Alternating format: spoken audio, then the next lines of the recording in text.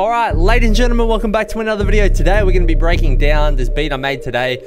I don't really know how to describe it. It's kind of ragey, kind of like some crazy trap stuff. I'm not quite sure what genre to put it in, but it's fire. And I think the layering is something you guys could definitely, I don't want to say learn from because I don't want to claim like I know everything, but this is a really good example of layering if that's something you're struggling with. So without further ado, let's jump straight into it. So I've got this synth called Sector here today and pretty fire. Looks like this. And for the most part, I've used the leads category in here.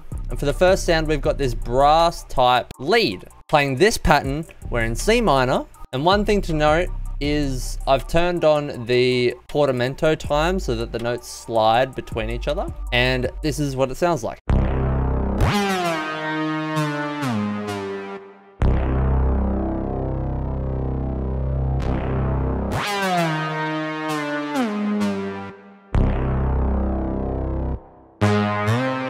So pretty basic. Pitch this down to the same octave. You can see that we're uh, using a lot of semitones here because I like the suspense and the dark feel that it brings. So we got a semitone here, here, and here.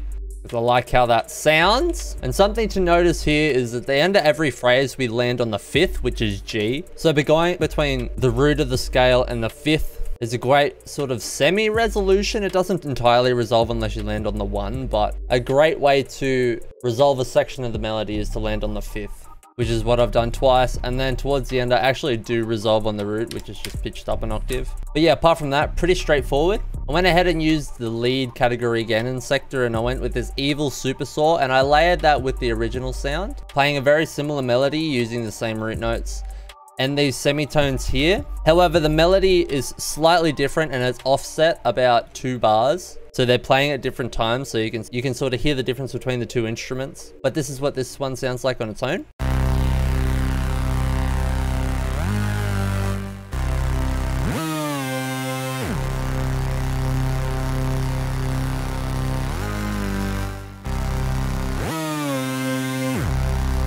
Again, that portamento slide makes it sound super fire. Now together.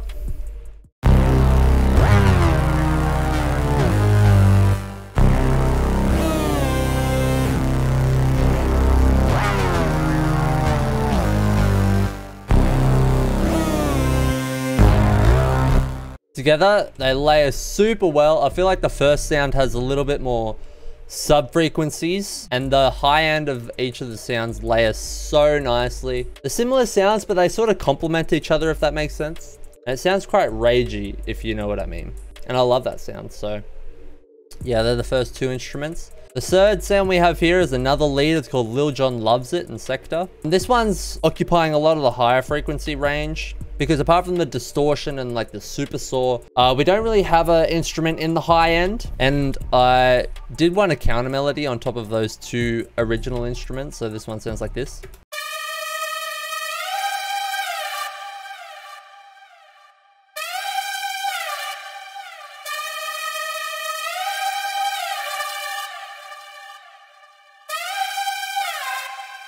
So you can hear these first three phrases don't resolve until the end of the eight bars, which is something to take note of. So there's a lot of tension that is released in the end, and I think that's really good and really important for a great melody.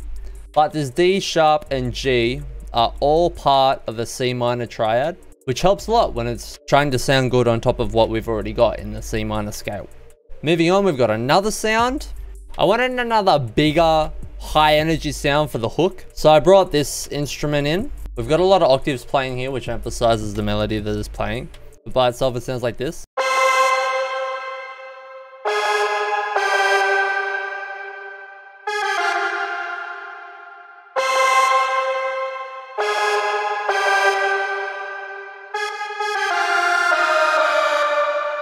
Super fire. I think that sound brings the energy up a lot when we get into the hook. Finally, we've got a pluck from Sector. I'm using a lot of seventh chords here that are just arpeggiated.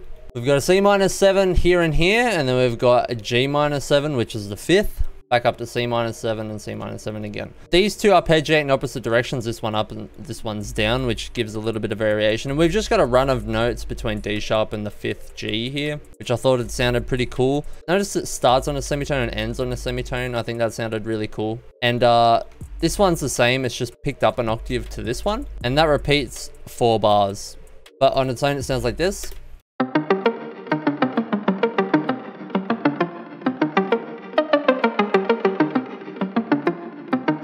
I like that it was a little bit deeper in the in the low mids to mids range.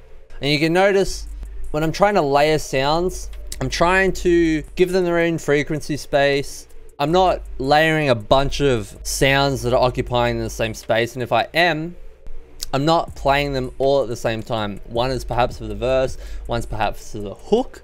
They're not all playing at the same time in the song. So if I do have too many sounds, often it comes down to arrangement and making sure they're not all playing at the same time and clashing. So if you find you have a lot of sounds occupying the same frequency range, but you want to use them all, just vary them throughout your arrangement and you'll have no issues. So for the final sound here for the hook, I didn't really like how this sounded. So what I did is I went into the mixer here. I threw an EQ on here, cut out the lows and the very high highs. I put a ping pong delay on here, two quarter note delays. I've done this before a couple of times uh, with a little bit of feedback and I brought the mix level down quite far because I didn't want it to be too loud. And I've got this slight sidechain filter here with the tail filter. This is free plugin by the way. You should go cop it if you want to use the free sidechain. And then I've got this glitch which reverses and does a other bunch of different effects. If you want Effectrix but you don't want to buy it, this is a free alternative. It's super fire.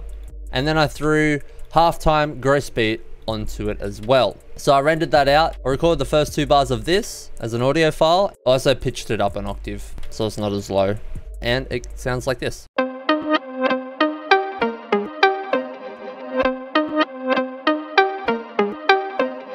Now with all the melody instruments, it sounds like this.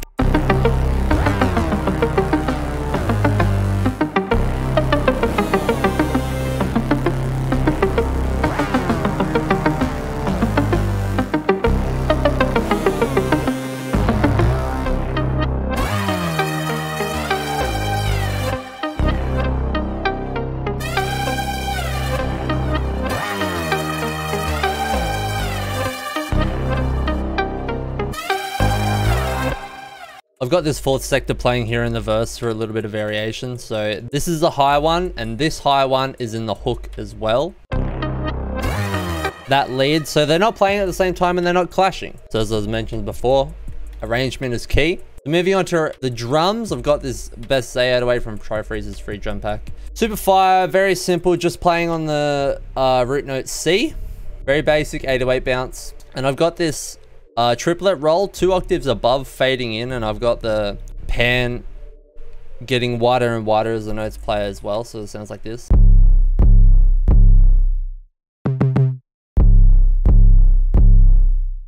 Got this kick that just follows that. Very nice. I've also got this hi-hat that plays with the 808 to give it a little bit of high end. All those three together sound like this.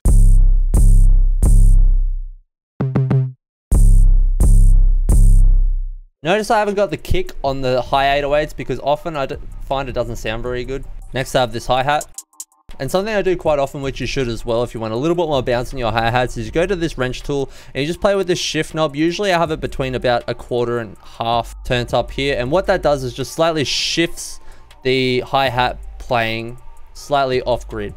The MIDI doesn't actually come off grid, but the sound plays slightly off grid. I've got this really basic hi-hat pattern. Uh, the first beat has got a triplet bounce and you go back to quarter bounce here for the first bit and then that just repeats. However, when we get to the end of the first four bars, I've got this roll again where you just go to this magnet and you go to sixth step and you just, you cut on the first grid like this and it makes this really nice stutter that I really like. And I've just done that for the last four notes in the four bar sequence.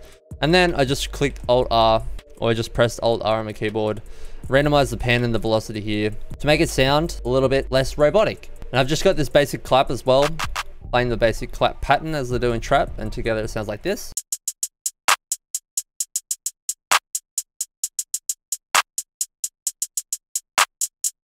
Very nice. We've also got this ding perk, got this Charizard perk, and this M249 tweak sound effect. Those from Cody's 2021 go-to drum pack. And I use the, uh, the gunshot to sort of instigate a beat drop in the arrangement. Yeah, that's pretty much it. I've just got my tag. A yeah, that's it. I'm going to go ahead and play the full beat here. If you like the video, like the video. Subscribe if you want to see more content. Hit the bell notification bell notified next time I post a video. Leave a comment if you learned something. If you think this beat is fire, let me know. But yeah, that's going to be it. I appreciate you all for watching. Stay safe, stay healthy, drink water, get some sleep. And if it's hot where you are, like it is here, grab a cold towel, wrap it around your neck, and stay cool. Or stay warm if it's winter. I mean, if you're in America or the US, America or the US, same thing. So, that's going to be it. I'll catch you guys on the next video. And as always, I love you.